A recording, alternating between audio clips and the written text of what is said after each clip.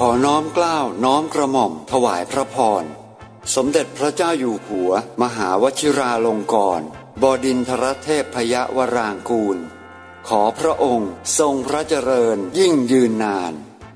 ด้วยเกล้าด้วยกระหม่อมขอเดชะ ข้าพระพุทธเจ้า คณะผู้บริหาร ทีมงาน พิธีกร นักแสดง บริษัทดิจิป้าโปรดักชั่นจำกัด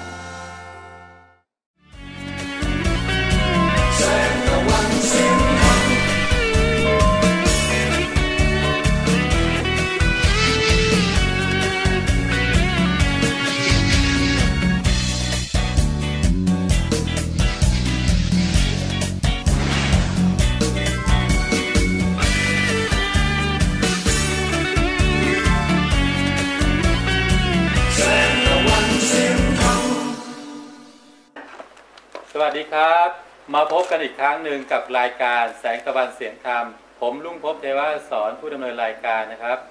รายการที่จะพาเด็กๆเข้าสู่วัดนะครับ เพื่อศึกษาพระธรรมคำสั่งสอนขององค์พระสัมมาสัมพุทธเจ้า และนี่คือนักแสดงทั้งหมดของเรานะครับ ครับ สวัสดีครับละครสั้น 3 ตอนหนึ่งตาศึกษาธรรมนะครับกำลังสนุกสนานนะครับ เพื่อไม่รอช้านะครับ ไปพบกับการแสดงของนักแสดงของเรา แล้วเดี๋ยวกลับมาพบกับเขาอีกครั้งหนึ่งนะครับ ไปชมกันเลยครับ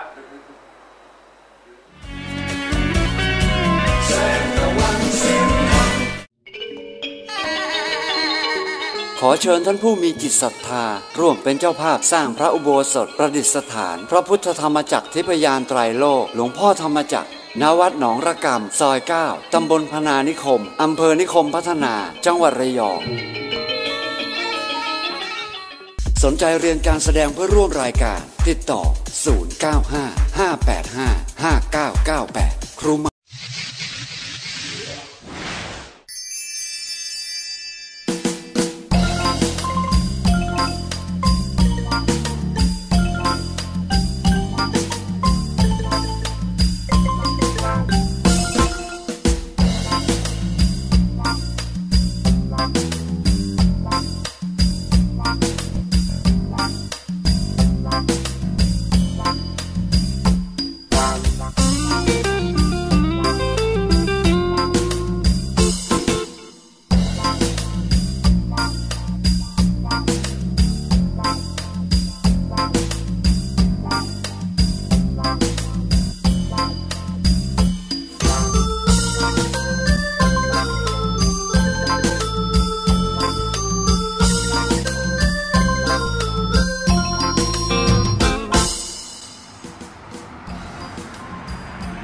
ผู้ชมครับ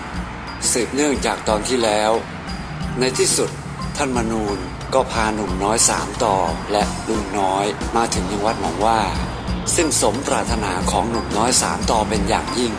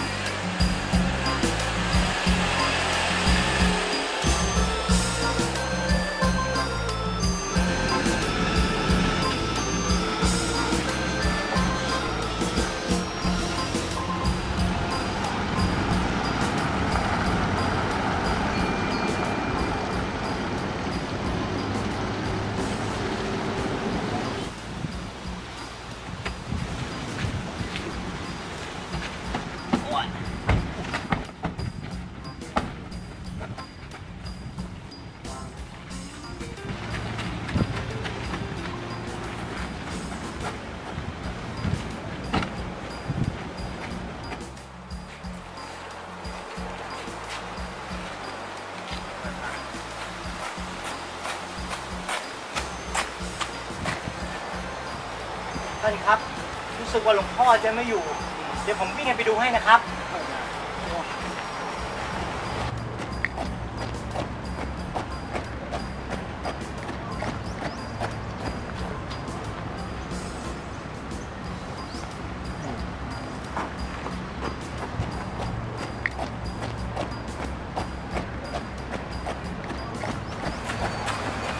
ท่านครับหลวงพ่อไม่อยู่ครับ งั้นเดี๋ยว ผมจะไปนั่งสมาธิ ในโบสถ์ก่อนดีกว่างั้นให้น้อยไปด้วยก็ได้ได้ครับหลวงพ่อขอเดินแถวนี้นะครับอ้าวโอเคได้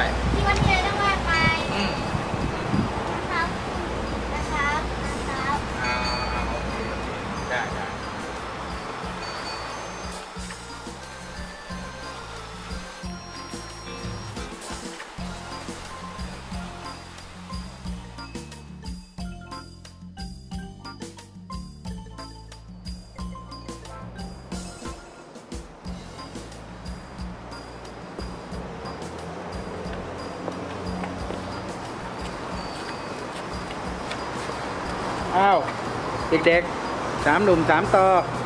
แล้วไม่ไปไหว้สิ่งศักดิ์สิทธิ์บริเวณรอบๆวัดกันเหรอหืมไปไม่ไปอ้าวไปงั้นอ้าวงั้นเราสองคนตาน้อย เดี๋ยวไปนั่งสมาธิในโบสถ์กันไปตามมา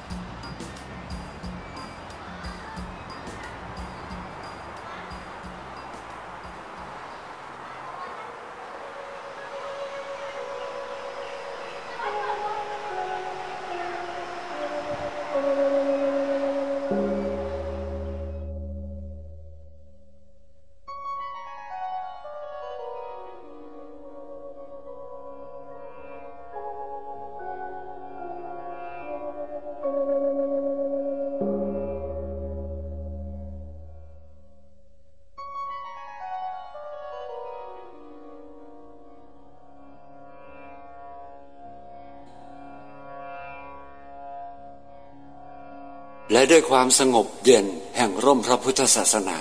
ทั้งท่านมนูนและลุงน้อย จึงเข้าสู่ภวังแห่งสมาธิอย่างรวดเร็ว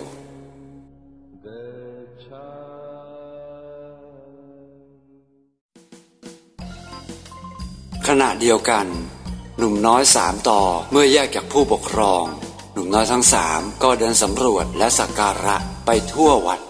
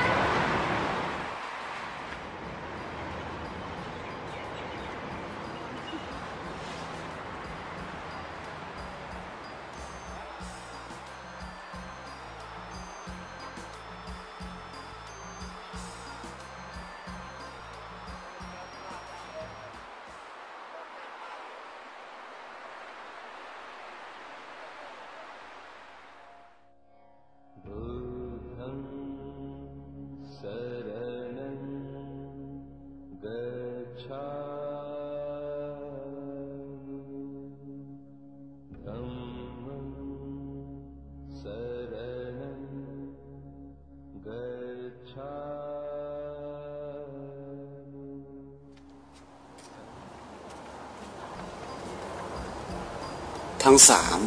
เก็บความสงสัยไว้ในใจอย่างมากมาย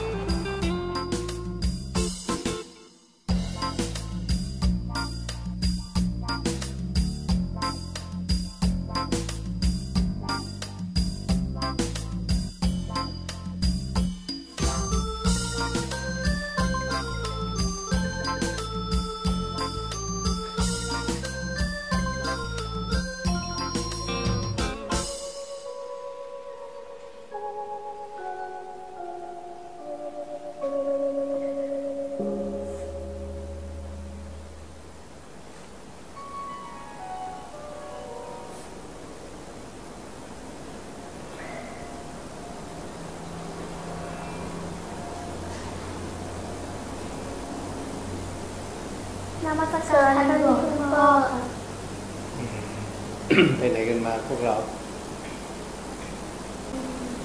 ขึ้นมาไหว้พระครับอืมมีอะไรสงสัยไหมที่มาที่วัดนี้อยากรู้อะไรเป็นความรู้เพิ่มเติมบ้างหรือเปล่าคุณพ่อครับตัวต้นอยากทราบว่า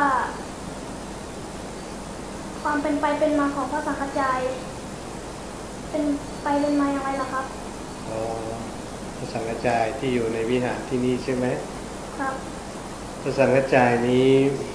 เป็นอดีตของ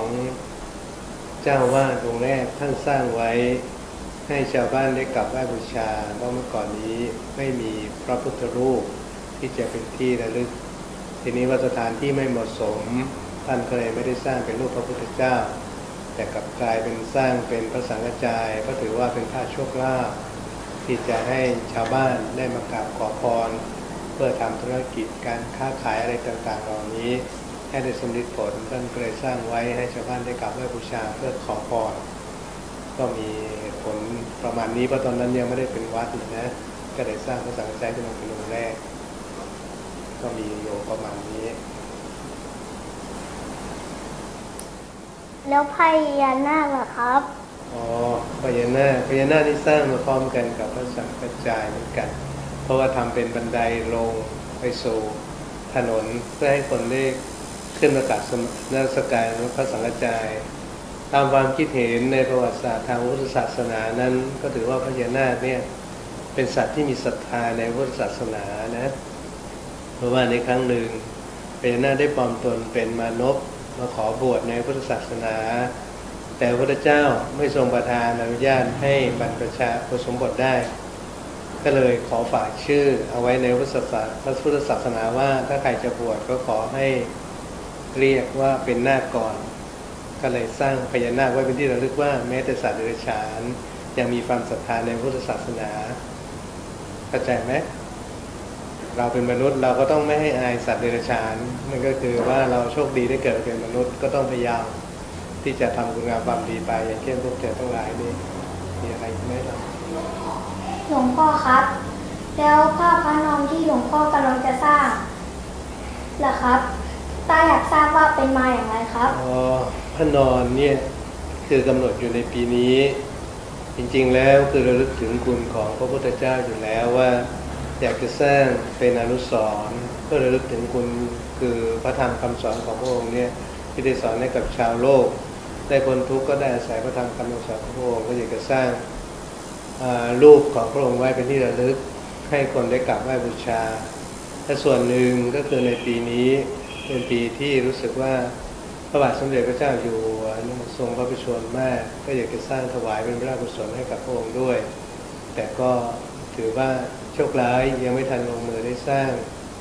พระองค์ก็ทรงเสียสละพระสก่อนก็เลยคิดว่าจะสร้างเป็นอนุสรณ์เพื่อถวายเป็นพระบุศลให้แก่พระองค์ด้วย ส่วนหนึ่งส่วนหนึ่งก็จะสร้างไว้เพื่อระลึกถึงคุณของพระพุทธเจ้า ส่วนหนึ่งก็จะถวาย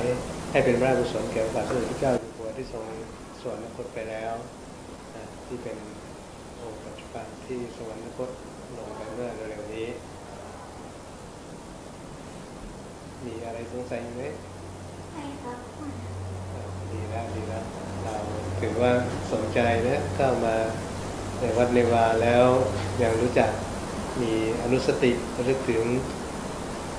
สิ่งที่ตัวเองสงสัยและไต่ถาม ต่อไปก็จะมีพระองค์ใหญ่เกิดขึ้นในตำบลมะขามพูดอันนี้อ่าเจริญพรโยมเจริญพรอืมพาเด็กๆมาทำบุญที่วัดเลย ไม่ทราบเด็กนะไม่เป็นไรไเป็ไรสามหนุ่มสามต่อนะก็มารบกวนท่านพระครูเปล่าไม่ไม่ทราบไม่เป็นไรก็ถือว่าดีแล้วเด็กเป็นเอ่อผู้ที่อยากรู้ครับก็ถือว่ามีความสนใจในพุทธศาสนาก็น่าน่ายินดีนะครับเออน่าปิติแทนพ่อแทนแม่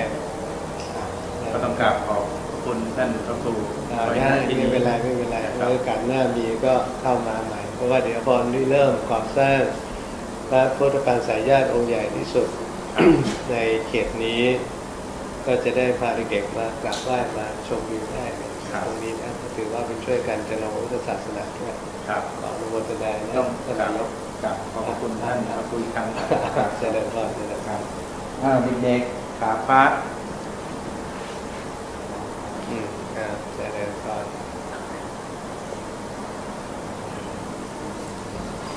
ครับก็เลย ขอกราบท่านโชคดีโชคดีครับป้ายเด็กๆ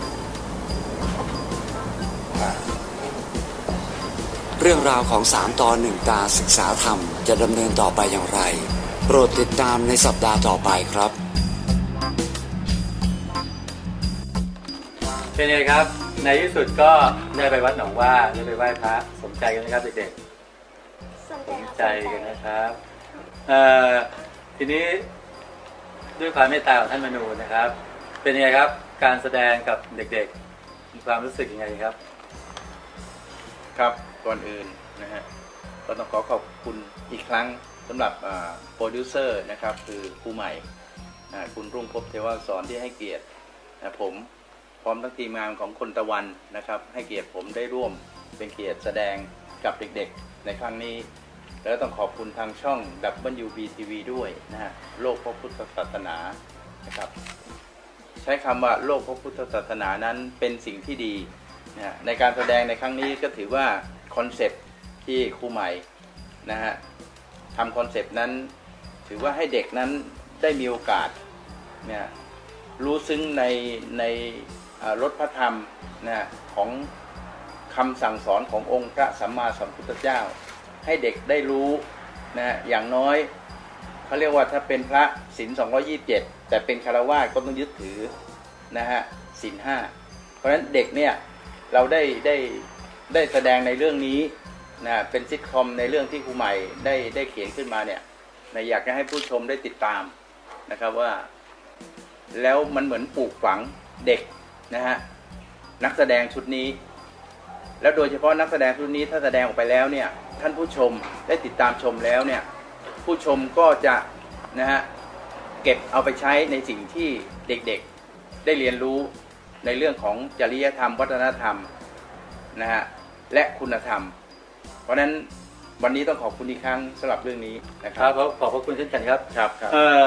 เนี่ยครับบทบาทของสามตอของเราแต่ละคนก็จะมีบทบาทแตกต่างกันไปนะครับตาม character อย่างเช่นเอ่อโตต้าเนี่ยนะครับ บทบาทของโตต้าเนี่ยนะครับ อ่อนไหวแต่ไม่อ่อนแอ เป็นยังไงกันครับ บทบาทนี้ไปฟังจากน้องครับท่านผู้ชม ก็มีอารมณ์อ่อนไหวไปกับสิ่งที่อยากรู้อยากทำครับ อ่อนไหวเป็นในสิ่งที่อยากรู้อยากทำสิ่งนั้นต้องเป็นสิ่งดีด้วยใช่ไหมครับ ครับ นี่ครับน้องเขาอ่อนไหวไปกับสิ่งดีนะครับ เพราะว่าสิ่งที่แรงบันดาลใจที่เกิดขึ้น ที่ได้ไปวัดไปอะไรก็เลยอ่อนไหวไปในสิ่งดีนะครับ แล้วยังไงต่อครับกับสิ่งนั้น พอเราอ่อนไหวไปแล้วก็ทำไงต่อดีครับ เรามีความพยายามในสิ่งนั้น เราก็จะทำในสิ่งนั้นโดยไม่ท้อถอยครับ นั่นแหละครับเขาเรียกว่าเมื่อมีสิ่งที่ดีแล้วตั้งใจทำด้วยความอุตสาหะในที่สุดน้องก็จะประสบความสำเร็จในสิ่งที่ตั้งใจไว้นะครับ อย่ารอช้าครับ ฟังบทบาทคนต่อไปครับโตเติ้ลนะครับ บทบาทของโตเติ้ลนี่ก็คือเอ่อคล่องแคล่วว่องไวแต่บางครั้งนิ่งเงียบใช่ไหมครับครับ character ที่นิ่งเงียบครับทำไมถึงนิ่งเงียบครับ ก็คิดในเรื่องที่ถูกและเรื่องที่ผิดอะครับอ๋อนั่นเองครับความคิดสองด้าน คิดในเรื่องที่ถูกและเรื่องที่ผิด แล้วสุดท้ายเราเลือก เรื่องไหนดีครับ เรื่องเรื่องที่ถูกนะครับ โดย concept คติคติของประจำใจอยู่แล้วใช่ไหมครับที่ว่าซื่อสัตย์สุจริตนะครับมันนั้นสุดยอดอยู่แล้ว นะครับ และนี่ก็คือบทบาทของน้องโตเติ้ลนะครับ ด้วยความเมตตาของท่านมาดูลนะครับ ก็เกิดบทบาทของตัวละครอีกตัวหนึ่งคือน้องตะวัน น้องตะวันบทบาทเป็นยังไงครับ เป็นเด็กกำพร้าลงทางมาครับ เด็กกำพร้าหลงทางมาครับ ครับทำไมถึงได้เป็นเด็กกำพร้าหลงทางล่ะครับ พัดพลาดจากคุณตาครับอ๋อพัดพรากจากคุณตาครับเคยมีความสุขอยู่กับคุณตา แล้วพัดพรากกันมาครับแล้วทุกวันนี้เห็นดีขึ้นครับ ก็มาเจอกับท่านมนูนจึงมีความสุขอีกครั้งครับ อ๋อเนี่ยครับนะครับในในในเนื้อหาละครนะครับ น้องก็เป็นคนที่พัดพากจากคุณตาพอมาเจอท่านมนูนก็มีความสุขครั้งอย่างเพลง ที่ท่านมนูนได้ร้องนะครับนะฮะตามนั้นเลยนะครับเพลงขอทานความสุขนะฮะน้องก็มีความสุขขึ้นมาอีกครั้งหนึ่งเอ่อเนี่ยครับคือความคิดเห็นของน้องตะวันนะครับ ผมขอย้อนกลับไปเรียนถามท่านมนูนอีกครั้งหนึ่งนะครับ เกี่ยวกับเพลงที่ร้อง ครับขอบคุณคำถามนะครับ คือเพลงนี้นะฮะก็จริงๆแล้วผมพูดถึงผู้แต่งนิดนะครับ คือครูบรรชูใจสุขนะครับ เป็นผู้แต่งชื่อเพลงขอทานความสุขนั้นเป็น concept ของเด็กกำพร้านะครับ แล้วก็จริงๆนะผมมาร้องเนี่ยเป็นคนที่สามแล้ว จริงๆร้องไปสองท่านแล้วนะครับ แต่ว่าส่วนใหญ่จะไม่ได้โปรโมทนะครับล่าสุดมาเลยผมเห็นว่าเนื้อหาสาระ ค่อนข้างจะมองดูแล้วดี ก็เลยไปปรึกษาได้ไปรู้จักกับอาจารย์จิตกรบัวเนียม ท่านเป็นนักแต่งเพลงแล้วก็นักดนตรีก็ท่านก็เลยเรียบเรียงเสียงประสานทำดนตรีให้นะฮะเพราะฉะนั้นเพลงนี้ก็คงจะฝากกับผู้ชมรายการนะครับว่าเนื้อหาสาระนั้นเป็นอย่างไร แล้วต้องขอบคุณครูใหม่อีกครั้งที่เอาเพลงนี้เข้าไปอยู่ในซิทคอมด้วยนะฮะแล้วก็ฝากท่านผู้ชมด้วยว่าเพลงนี้นั้นกำลัง ทำเอ็มวีอยู่นะครับ แล้วก็จะจะโปรโมททางคลื่นต่างๆ แล้วก็ทาง YouTube ด้วยก็ฝากท่านผู้ชมไว้ด้วยนะครับสำหรับเพลงนี้แล้วก็ชมรายการซิทคอมของเรานะฮะซึ่งซึ่งบทบาทของเด็กๆ ทั้ง 3 คนนี้ก็อยู่ใน concept เพลงขอทำความสุขนี้ด้วยนะครับ ครับและนั่นคือความคิดเห็นของท่านมนูนวงประยูนแล้วก็เด็กๆสามต่อของเรานะครับ เพื่อไม่รอช้านะครับ ไปพบกับช่วงถามไถ่ใฝ่ธรรมกับคุณนิคิวเลยครับ ไปดูกันครับว่าวันนี้คุณนิคิวจะพาท่านผู้ชมไปพบกับอะไรนะครับ เชิญเลยครับ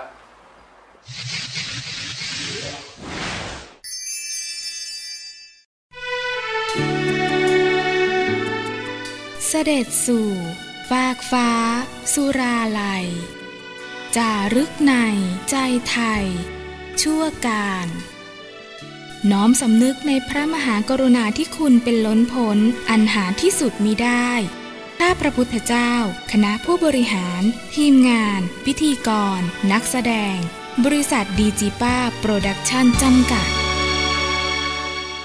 บริษัท Worldwide Products and Service จำกัด รับผลิตสินค้าที่ทำจากเหล็กสเตนเลสตามออเดอร์ 0815-067 0814204640 086-331-3888 สนใจเรียนการแสดงเพื่อร่วมรายการ ติดต่อ 095-585-5998 ครูใหม่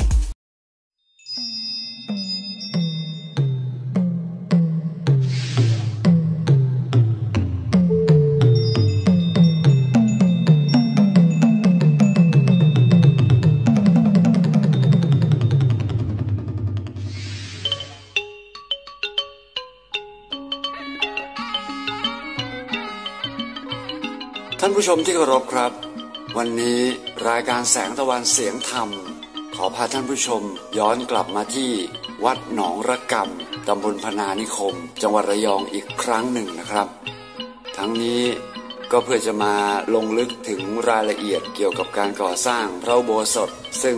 ยังไม่แล้วเสร็จยังเหลืออีกหลายเปอร์เซ็นต์ทีเดียว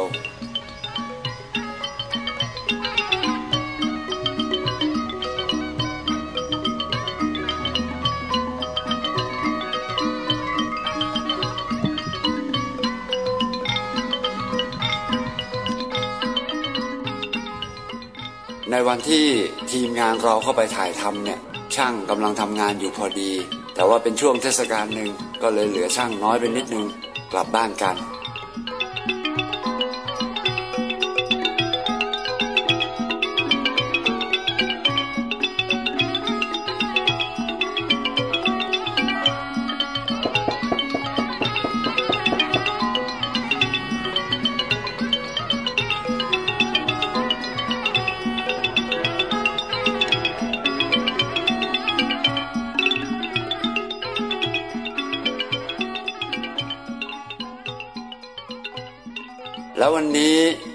ที่จะทำหน้าที่นำพาทุกท่านเข้าสู่รายละเอียดของพระอุโบสถวัดหนองระกำก็คือ คุณอิกคิว พิธีกรภาคสนามประจำรายการของเรา พบกับเธอได้เลยนะครับ คุณอิกคิว กุลศินีการปลื้มชัยค่ะสวัสดีค่ะ แล้วตอนนี้เราก็อยู่หน้าอุโบสถนะคะ ที่กำลังอะต้องการให้คณะศรัทธาต่างๆ มาร่วมทำบุญสร้างกันนะคะ ซึ่งเป็นที่ประดิษฐานของ หลวงพ่อธรรมจักรนะคะ ซึ่งตอนนี้เนี่ยกำลังต้องการนะคะปัจจัยแล้วก็ต้องการแรงเขาเรียกว่าแรงศรัทธาจากคณะศรัทธาทั่วโลกนะคะ ที่มาร่วมสร้างพระอุโบสถให้เสร็จสิ้นนะคะ เพื่อเป็นการทนุบำรุงศาสนานะคะ ให้สืบทอดต่อไปค่ะ เดี๋ยวเราจะมาทราบประวัติของพระอุโบสถ ซึ่งเป็นที่ประดิษฐานของหลวงพ่อธรรมจักรกันกับเจ้าวาดวัดหนองระกำกันเลยนะคะ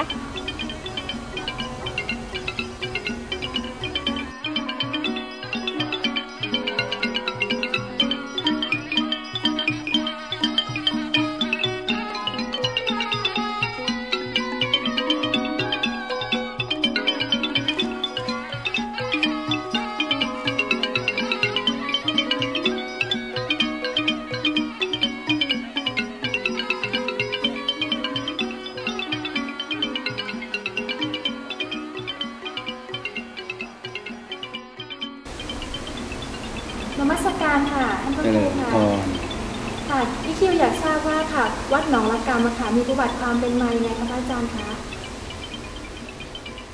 ประวัติวัดหนองละกำคือตั้งเป็นสำนักสงฆ์เมื่อปีพศ 2503 แล้วมาขอเป็นวัด ตั้งเป็นวัด ขอเป็นวัด สถานที่ตั้งวัด พศ 2529 จนถึงปัจจุบันนี้ เดิมทีเดียวชื่อ สำนักสงฆ์เจริญราชสามัคคีธรรมพอขอเป็นวัดก็คือเป็นวัดหนองละกำซอยเก้าสาเหตุที่ว่าตั้งชื่อวัดหนองละกำซอยเก้าคือในซอยเก้านี้มีหนองอยู่หนองหนึ่งมีละกำมีทั้งเปรี้ยวมีทั้งหวาน แล้วก็เป็นชื่อของหมู่บ้าน คือหนองละกำหมู่บ้านหนองละกำสาเหตุที่ว่าหนองละกำก็คือละละกำที่อยู่ในหนองนั่นแหละ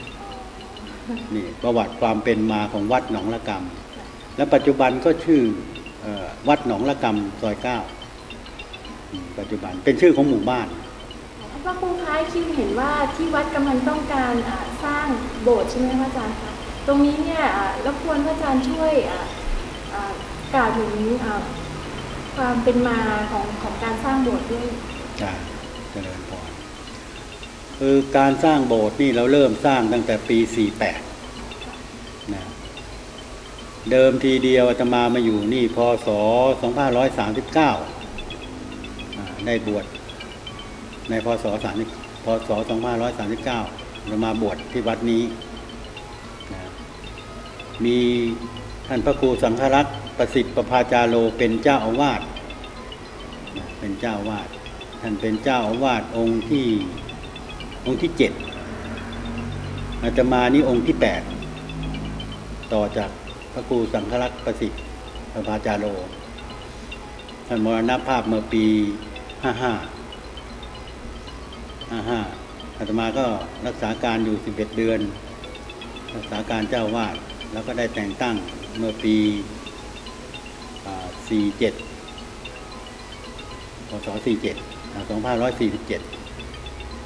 ก็โบสถ์ที่วัดนี้ไม่มีโบสถ์อาตมาก็ อยากจะสร้างโบสถ์ก็ได้บอกญาติโยมศรัทธาญาติโยม ว่าอาตมาจะสร้างโบสถ์เมื่อปี 48 คือบอกญาติโยมตั้งแต่ปีปี 47 นี่แหละเพื่อให้เตรียมตัว เตรียมที่ว่าใครจะจองเสา จองเสาเข็มเสาตอหม้อเสาโบสถ์อะไรเงี้ยให้เขาจองกัน ก็มีญาติโยมมาจอง อาจารย์คะแล้วตอนนี้เต็มยังคะ ตอนนี้ตัวที่เสาอะค่ะ เสานะ ก็ยังยังเป็นเจ้าภาพได้ เพราะเสามันสี่สิบสี่สิบกว่าต้นเสาโบสถ์เนี่ยนะ รู้สึกว่ายังยังไม่เต็ม ยังไม่เต็ม แต่ในตอนนั้นเราได้เงินมา เฉพาะเสาโบสถ์ก็ได้ล้านกว่าบาท ล้านกว่าบาทที่ที่จองนะ จัดงานวางศิลาฤกษ์อะไรด้วยก็ได้ได้ทุนมาจำนวนหนึ่งคือก็ไม่มากอะหักค่าใช้จ่ายอะไรแล้ว มันก็เหลืออยู่ล้านกว่าบาทก็ได้สร้างเมื่อปี 48 วางศิลาฤกษ์วันที่ 11 พฤษภาคมพศ2548 นี่เราวางอตอกเสาเข็ม วางศิลาฤกษ์เสร็จเราก็ตอกเสาเข็มเลยพอมีปัจจัยแล้ว มีปัจจัย อยู่ล้านกว่าบาท ประมาณล้านล้านหกล้านเจ็ดอะไรเนี่ยแล้วก็ตอกเสาเข็มเสาเข็มทั้งหมดห้าสิบสามต้น ตอกเรียงลงไป เพราะพื้นที่มันเป็นแบบกระทะเสาเข็มก็ไล่มาจากห้าเมตรจนถึงแปดเมตรห้าเมตรถึงแปดเมตรตอกเสาเข็มไปห้าสิบห้าสิบสามต้น แต่เสาโบสถ์ทั้งหมดมีมีสี่สิบหกต้นสี่สิบหกต้น ก็มีเสาตะหม้อห้าสิบามต้น เสาเข็มอีกห้าสิบามต้น น่าจะเกินนะเสาเข็ม น่าจะเกินผมมาก็จำผิดจำถูกเหมือนกันแหละไอ้เสาเข็มนี่ก็ไม่มั่นใจว่า มันหลุมหนึ่งมันมีสี่ต้นอยู่ นอกนอกจากอ่าในส่วนของเสาแล้วมีส่วนอื่นๆไหนอีกคะพระอาจารย์คะที่ยังต้องการคณะศรัทธามาร่วมทำบุญนะคะก็ยังต้องการปัจจัยอีกมากที่จะมาสร้างเพราะโครงสร้างปัจจุบันนี้เราทำโครงสร้างขึ้นไป ก็ใกล้ใกล้จะใกล้จะเสร็จแล้ว โครงสร้างก็อยู่ที่ 80%ก็ยังเหลือโครงสร้างที่เป็นระเบียง แล้วก็เป็นรอบอุโบสถ ที่จะต้องเท แล้วก็ช่วงบนฝ้านั้นก็ต้องต้องก่ออีกฉาปูน นี่คือโครงสร้าง แล้วก็ปัจจุบันนี้ก็โครงสร้างเขาทำเรื่อยๆไป แล้วก็ทำลายทำลายหน้าบัน เหมาค่าแรงให้ช่างไปช่วงบน จนถึงช่อฟ้าใบละกาหน้าบัน หางหงคันถวย อันนี้ค่าแรง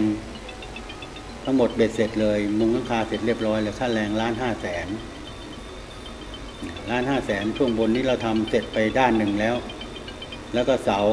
ก็เสร็จไปยี่สิบกว่าต้นแล้วเสาที่ติดลาย คือไอ้เสาที่ติดลายนี่มันช่วงช่วงที่สองรับเหมาช่วงที่สองช่วงแรกล้านห้าแสนคือช่อฟ้าบรรยากาหน้าบันหางหงกันตวย แล้วก็มุงลังคาจนเสร็จนั่นแหละล้านห้าแสน แล้วอีกล้านห้าแสนนี่ก็มีเสาสามสิบสองต้น ต้นละสองหมื่นหกแสนสี่หมื่นระเบียงรอบเทคอนกรีตด้วย ติดลายด้วย รอบอุโบสถระเบียงกันตก รอบอุโบสถเลย อีกสามแสนเทรอบอุโบสถอีกสามแสนตอนนี้ที่ที่ตกลงค่าแรงนะ แล้วก็ทำฝ้าข้างบนก่อฉาบอะไรข้างบนนั้นอีกสามแสน รวมตรงตรงนี้เป็นเสาหกแสนสี่หมื่นสามอย่างระเบียงโบสถฝ้าเก้าแสนก็เป็นล้านห้าแสนที่ตกลงก็ช่างว่า เอาล้านห้าแสนอีกสี่หมื่นลดไป ก็ตกลงเป็นค่าแรงทั้งหมดตอนนี้ที่ทำลายติดลายทั้งหมดเลยเสร็จเลยเจ้าฟ้าบรรยากาหน้าบานหางหงคันตัวเสา ระเบียงกันตกในอุโบสถและก็ฝ้าด้วย รวมค่าแรงทั้งหมดสามล้าน ตอนนี้ทางวัดก็ได้จ่ายไปล้านเศษเศษเองล้านสองประมาณล้านสองจ่ายไปแล้ว ก็ยังขาด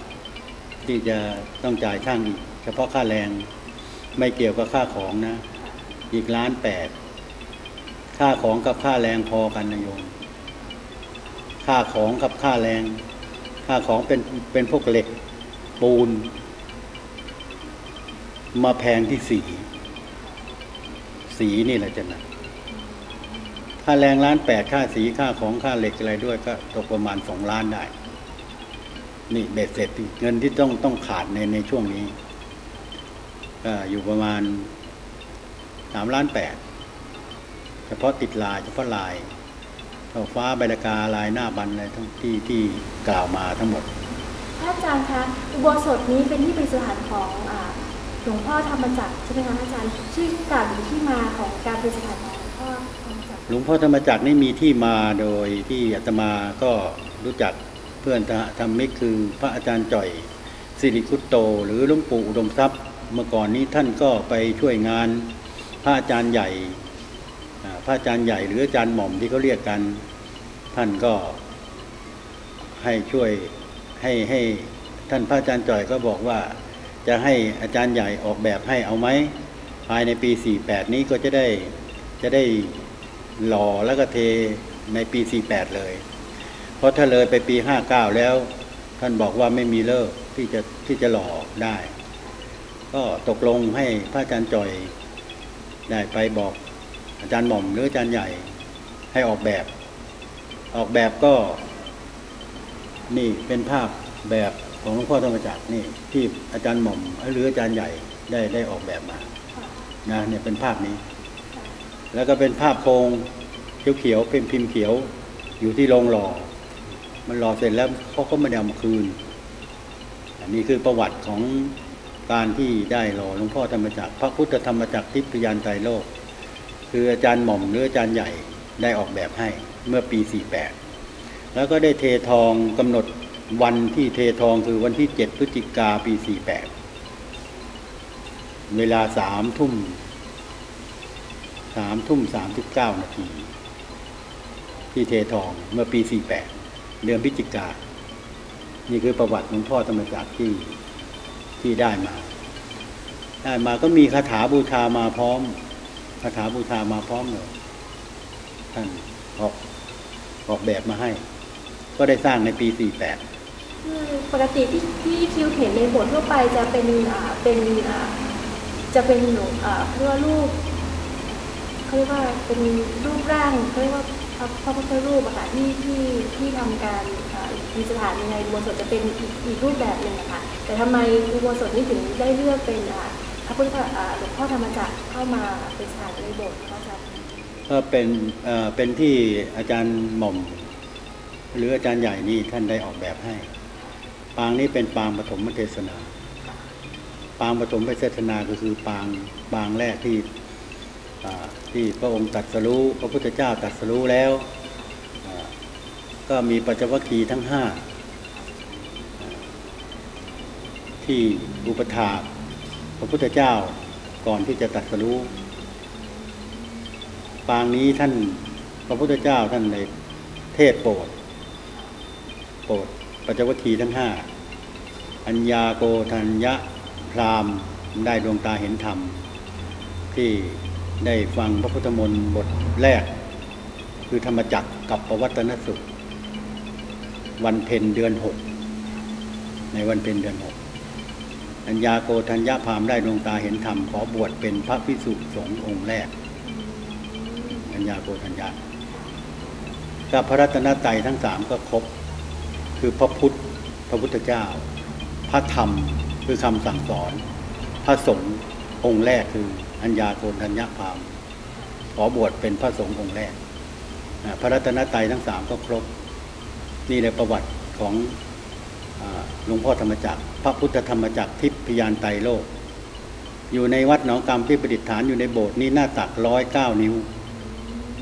นะหน้าตักร้อยเก้านิ้วเฉพาะหน้าตักร้อยเก้านิ้วเททองเมื่อปีสี่แปดวันที่เจ็ดเจ็ดพฤศจิกาปีสี่แปดเททองที่วัดหนองละกำนี่แหละก็ยังคงต้องการปัจจัยจากคณะศรัทธาที่จะมาร่วมทำบุญเพิ่มอีกเพื่อให้เสร็จสิ้นเพื่อเป็นการเพิ่มมูลศาสนาค่ะพระอาจารย์ใช่ เพราะมันยังมีที่ที่กล่าวมาแล้ว คือทำลายทำลายกับ ติดลายจนเสร็จเบ็ดเสร็จเลยเนี่ยค่าแรงสามล้านเราเพิ่งจ่ายไปล้านสองมันยังมีหินแกรนิตในโบสถภายนอกภายในเสาสิบสี่ต้นนั้น ติดหินแกรนิตทั้งหมด มีประตูหน้าต่างอีก พื้นบันได เอวขันรอบนอก เราก็ต้องปูหินแกรนิตทั้งหมด นี่ที่ที่คิดจะทำแล้วในฝ้าข้างบน โบสถบนฝ้าเราก็จะทำเป็นภาพพุทธประวัติรอบรอบรอบนะรอบรอบ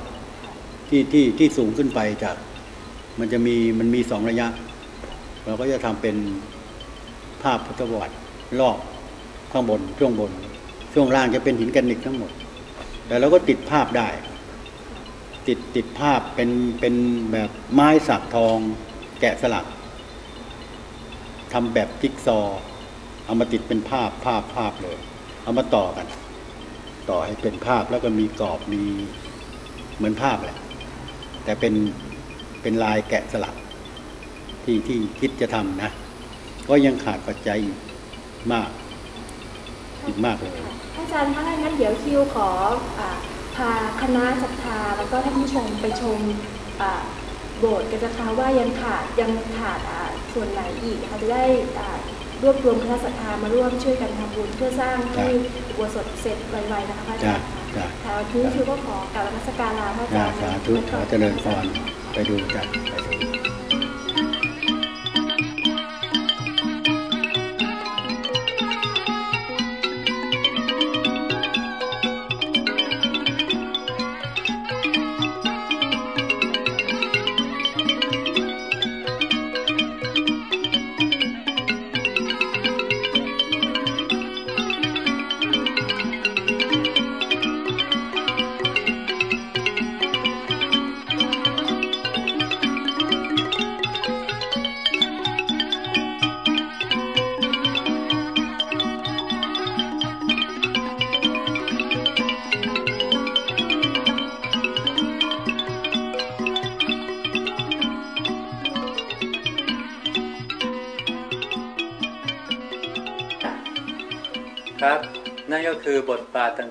และการร่วมทำบุญต่างๆที่เกิดขึ้นนะครับ เป็นยังไงครับกับเรื่องราวของโบสถ์การสร้างโบสถ์ประวัติวัดหนองละกำนะครับ ที่คุณนิทิวพาท่านไปไปรับชมกันนะครับ ต่อจากนี้ไปนะครับ เราจะพบกับสิ่งดีๆ กับรายการแสงตะวันเสียงธรรมกันอีก ท่านผู้ชมที่กำลังติดใจซิทคอมนะครับ ติดตามได้นะครับทาง YouTube นี้นะครับ เป็น YouTube ของช่องวัดยานาวาช่อง WBTV นะครับ วันนี้ผมขอของฝากให้ท่านอีกเช่นเคยนะครับ คือของฝากคนตะวันนะครับ พบกับของฝากคนตะวันและพุทธสุภาษิตดีๆจากหลวงพ่อกันนะครับ และวันนี้ผมลุงพบเทวสอนผู้ดำเนินรายการขอกราบลาไปก่อนครับ สวัสดีครับ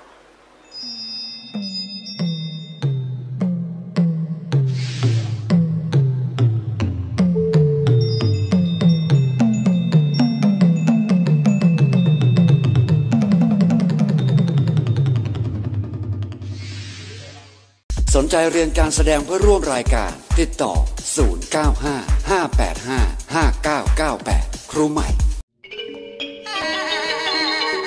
ขอเชิญท่านผู้มีจิตศรัทธา ร่วมเป็นเจ้าภาพสร้างพระอุโบสถประดิษฐาน พระพุทธธรรมจักรทิพยานไตรโลก หลวงพ่อธรรมจักรณวัดหนองระกำซอย 9 ตำบลพนานิคม อำเภอนิคมพัฒนา จังหวัดระยอง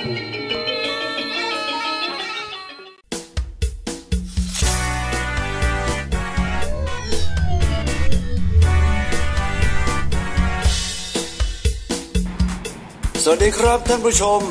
สำหรับช่วงนี้พบกันอีกแล้วกับช่วงรายการของฝากคนตะวัน โดยคนตะวันทีม ทีมงานนักเรียนนักศึกษาในจังหวัดระยอง เก็บเรื่องราวเบื้องหลังการทำงาน ในกองถ่ายแสงตะวันเสียงธรรมมาฝากกันนะครับ ไม่พูดพร่ำทำเพลง ชมกันเลย ภาพที่ท่านกำลังชมอยู่นี้ เป็นภาพที่ออกอากาศไปเมื่อสัปดาห์ที่แล้วนะครับ ดูที่ลุงน้อยนะครับ แกวิ่งกระเจิดกระเจิงเลย แล้วเดี๋ยวมาดูช่วงถ่ายทำกัน ไปแล้วนะครับ เทปแรกธรรมนูนธรรมนูนรอด้วยขาดขาดขาดเลขสองเหนื่อยแทนกำมะนูนกำมะนูนรอด้วยอ้าวน้อยไปไหนกันครับขอน้อยไปด้วย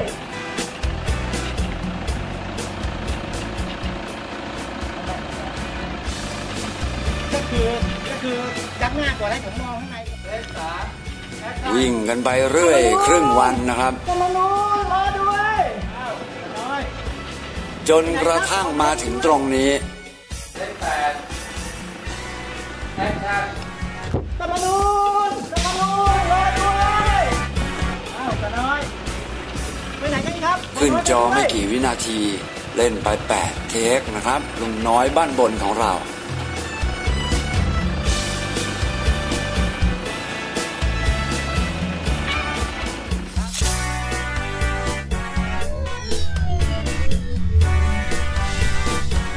กลับมาที่หนุ่มน้อยสามต่อกับฉากนี้นะครับคุณพ่ออยู่ไหน ดูนาฬิกาแล้วก็หายไปเลย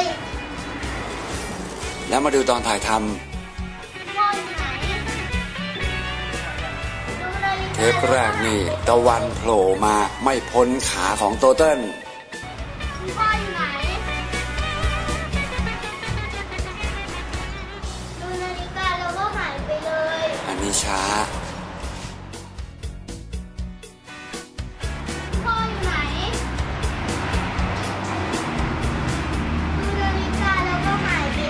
นนี้เครียดเกินไปพักครับคุณพ่ออยู่ไหน และนี่หลายเทคเข้า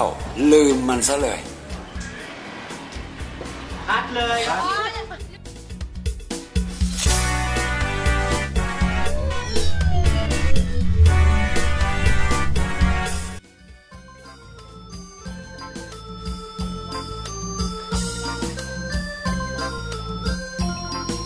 มาดูนะครับ จากนี้ที่ออกอากาศไปเมื่อต้นชั่วโมง สามต่อของเรานะครับ สงบเสงี่ยม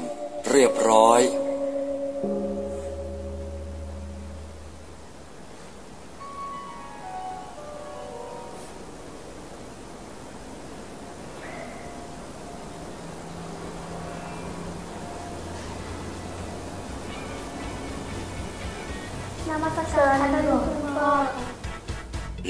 บรรยากาศตอนถ่ายทำกันบ้าง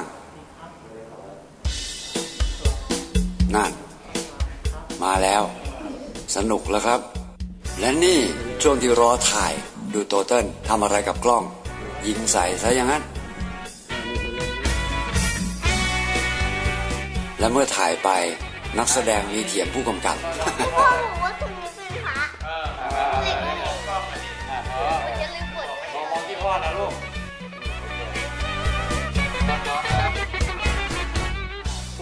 หมดแล้วนะครับ สัปดาห์นี้เรื่องราวจากคนตะวันทีมคงต้องไปละ พบกันใหม่สัปดาห์หน้า สวัสดีครับ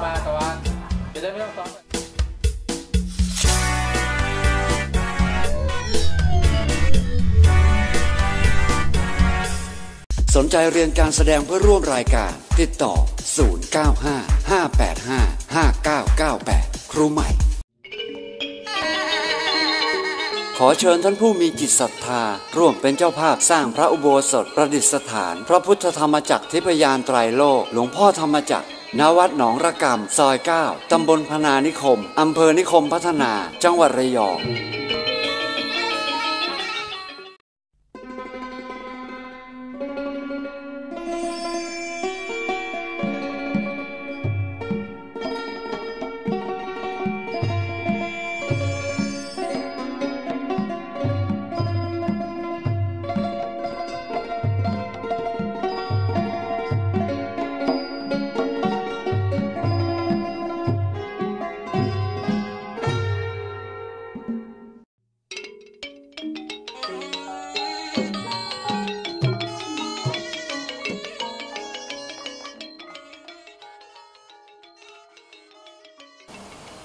รถพระธรรมนั้น เป็นรถของสันติสุข เป็นปรมัตถสุข เป็นอมตะสุข มีกลิ่น อันหอมหวน อันหอมหวานอบอวนตลบไปทั้งสามภพผู้ที่จะลิ้มรสพระธรรมนั้น ต้องประพฤติตามคำสอนรสของพระธรรมนั้นมีสามระดับคือ ระดับต่ำระดับกลาง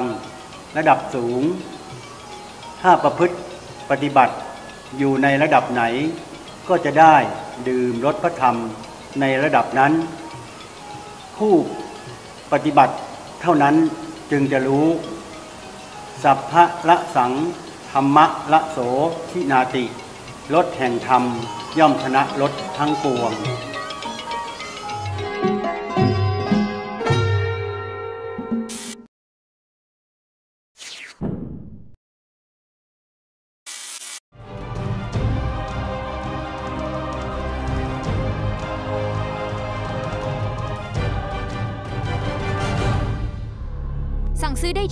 02 556 1366 ถึง 7